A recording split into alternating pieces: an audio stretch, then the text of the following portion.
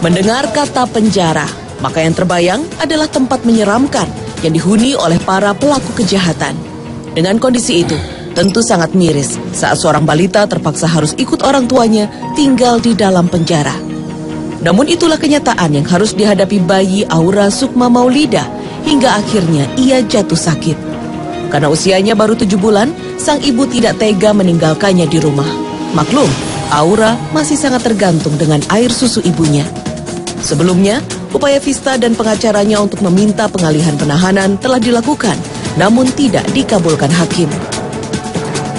Akhirnya, selama hampir setengah bulan tinggal di penjara, bayi Aura pun jatuh sakit. Dalam cuaca yang terik, Aura pun akhirnya dibawa kakek dan neneknya ke rumah sakit.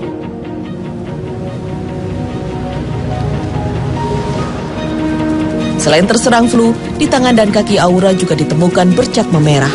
Dokter menduga ia terkena alergi susu formula ditambah lingkungan lembaga pemasyarakatan yang sangat tidak cocok bagi balita. Kita perlu cek dulu susunya apa, kemudian nanti diganti dengan susu yang lain. Tapi untuk sekarang sebaiknya minum susu ibu dulu aja. Seperti halnya dokter, psikolog anak juga menilai bahwa kondisi lapas yang jauh dari kata nyaman sangat rentan membuat sang bayi stres dan mengalami gangguan psikologis sehingga dibutuhkan perhatian dan perlakuan khusus dalam kasus seperti ini. Apalagi sang bayi mempunyai hak untuk mendapatkan kondisi yang baik bagi pertumbuhannya.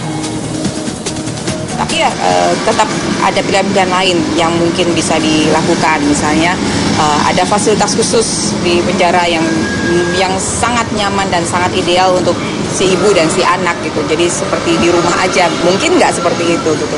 Yang penting adalah yang kita harus pandang adalah di si- di sini dari sisi si anak ya kebutuhannya si anak karena dia masih menyusui. Jadi eh, pengasuh yang saat ini paling tepat adalah si ibu gitu. Hari ini, bayi Aura memang akhirnya bisa menghirup udara bebas setelah sang ibu mendapatkan status pengalihan penahanan dari majelis hakim. Namun bisa dibilang hal itu terjadi setelah media ramai memberitakan kasus bayi tujuh bulan yang harus ikut mendekam di penjara ini.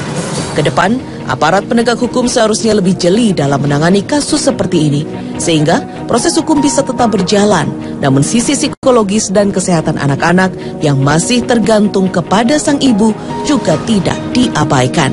Tim Liputan Trans 7